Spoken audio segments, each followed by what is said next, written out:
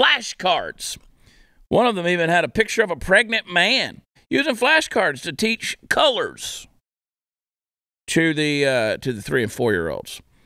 Um, there you go.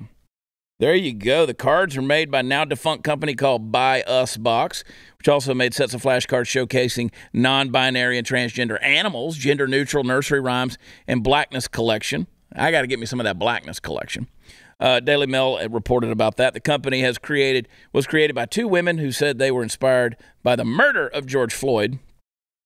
Last summer, months into the pandemic and days after George George Floyd's murder, we were desperate to transform our feelings into concrete actions. That's what their website says. Black Lives Matter movement was pushing anti-racism conversations further into the spotlight while pandemic lockdowns meant many people were at home feeling unsure of what to do. We quickly moved ahead on an idea we'd already been discussing a way to bring anti racism and inclusivity directly into family homes. So there you go, flashcards. Flashcards. Somebody said to me, they said, You conservatives, y'all are all about free speech unless it's, you know, BLM or CRT or whatever. Now, look, if I'm a teacher and I'm teaching your kid math and I consistently tell them that two plus two is five, if they take a test and say four, and I say, No, no, two plus two is five now, that's not an issue of free speech, that's an issue of misinformation. I'm teaching them wrong.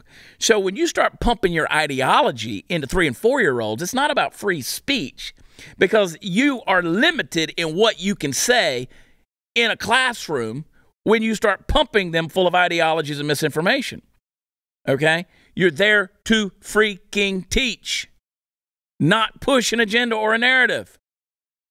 It was an Air Force base. It was going to have a drag queen story hour event, but the public uh, gave a big old outcry and they canceled it. Um, that was going to be over in Germany, and uh, then then you had then you had a nightclub that was uh, in Duluth, Minnesota, that was going to have a kid friendly drag show. Yeah, you heard all of that right. A nightclub was going to do a kid friendly drag show. We got the tape, but I don't want to play it. I don't want to play it.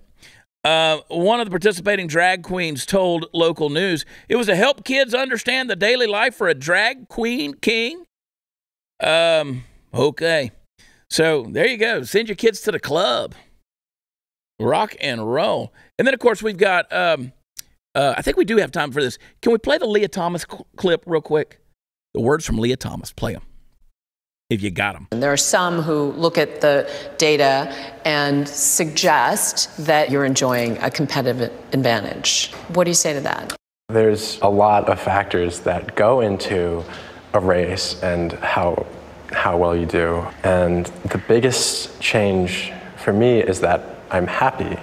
And sophomore year, um, where I had my best times competing with the men, I was miserable. And so having that be lifted is incredibly relieving and all right. allow so there you go. It was all about how Lia Thomas felt right? I, I didn't I, I just didn't feel good. It, i wasn't feeling good when i was putting up my best times against men. So i had to go kick the shit out of the girls